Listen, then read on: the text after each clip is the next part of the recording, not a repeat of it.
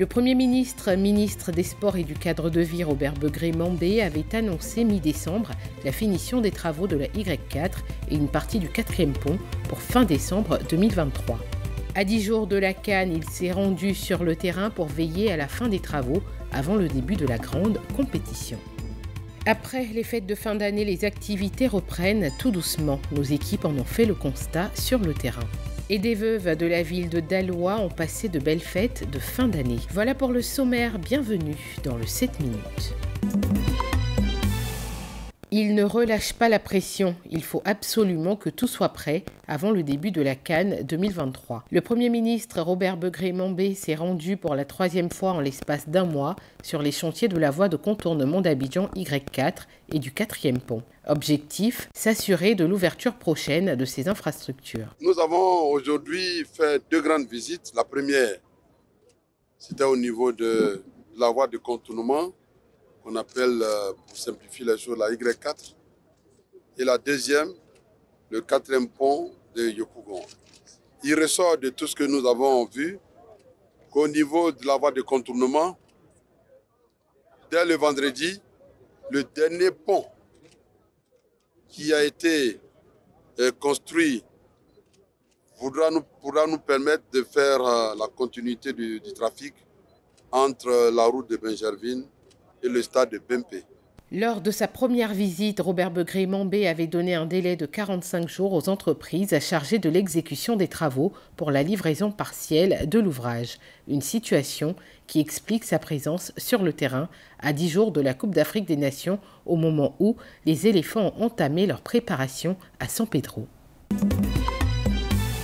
Priscilla inspecte l'étal de sa mère en attendant la reprise des cours de leur principale clientèle, les élèves et étudiants. On passe de temps en temps pour voir s'il y a des choses ici qu'on peut arranger, mettre de l'autre, voilà, pour qu'à la reprise tout soit propre, impeccable. Trois jours après la nouvelle année, les activités reprennent difficilement. Chaque moment a son lieu de vente. On profite du moment pour se reposer parce que même si nous sortons maintenant, c'est à cause des étudiants, mais ils ne sont pas là. Donc sortir, c'est comme si on en perdant en énergie et puis en rentabilité, ça ne sera pas pareil. Donc, on se repose et puis on espère que à la reprise, tout reprendra comme avant. Si Priscilla et sa mère attendent le début des cours pour reprendre de plus belle, ce n'est pas le cas pour toutes les activités génératrices de revenus. Abdoul nous confie que la clientèle n'est pas aussi régulière qu'à son habitude.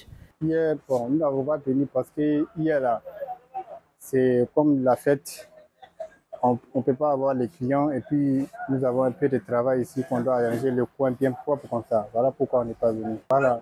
Bon, en c'est pas la même chose comme avant, comme les jours passés. Hein. Mais on pensait que les jours prochains, ça sera un peu plus. Ça peut être à cause de la fête et puis euh, on était en congé les comme les étudiants ne sont pas là et puis les élèves sont aussi. Priscilla et Abdoul ne sont pas seuls dans cette situation. Le constat est le même dans plusieurs autres commerces. Le lundi 8 janvier 2024 marquera la date de reprise des cours après les congés de Noël et de la Saint-Sylvestre. Ils sont 16 conférenciers, dont 10 femmes et 6 hommes, qui composent la quatrième promotion des conférenciers d'inspiration, sortie de l'Académie des conférenciers d'inspiration à l'occasion de la septième édition de la conférence Tout est possible. Aujourd'hui, je viens de recevoir le certificat de conférencière d'inspiration. Cela voudrait dire qu'aujourd'hui, je suis prête à influencer positivement mon entourage, à influencer positivement le monde entier, mais surtout la Côte d'Ivoire. Ces conférenciers seront amenés désormais à apporter un changement positif dans la société par le partage de leurs messages et la transmission de leurs valeurs de vie. Cette septième édition, déjà, elle se démarque par le fait que nous avons une promotion qui est un peu plus fournie en termes de participants, euh, une promotion de qualité. Déjà, les, les, les gens qui sortent de cette promotion ce sont des gens d'un certain niveau, des cadres de différentes entreprises. Ça montre que le message que nous portons touche de plus en plus de gens dans certaines sphères. Et on se réjouit parce que justement, cette promotion a vu la participation de personnalités non des moindres. Il est important de souligner que l'Académie des conférenciers d'inspiration est un programme de formation qui vise à révéler des motivateurs. Et pour finir, dépouler de la sucrerie, de l'eau et de l'argent en espèces, c'est ce que ces veuves de Dalois ont reçu des mains d'Assamoah Akoto, opérateur économique. Cette action, il l'a initiée afin de permettre aux femmes veuves de Dalois de connaître la joie des fêtes du Nouvel An. C'est la quatrième édition. On a commencé avec quelques-unes. Aujourd'hui, le nombre a augmenté. Chaque année, le nombre augmente. Et nous ne faisons pas de distinction. Nous cherchons toujours des, des, personnes ressources dans les quartiers hein, pour pouvoir conduire ces veuves-là vers nous, nous conduire vers ces veuves-là pour que nous puissions vraiment un temps soit peu les aider. Ce sont 25 veuves de différentes religions, nationalités et origines qui ont reçu ces dons et elles n'ont pas manqué d'exprimer leur joie. Nous sommes très heureux pour la question des cadeaux. Très, très heureux. On le souhaite de bonnes chances. La nouvelle année qui est sortie là, on a trouvé beaucoup de choses. On remercie M. Akoto. On lui remercie beaucoup. On vous remercie tous, mes enfants.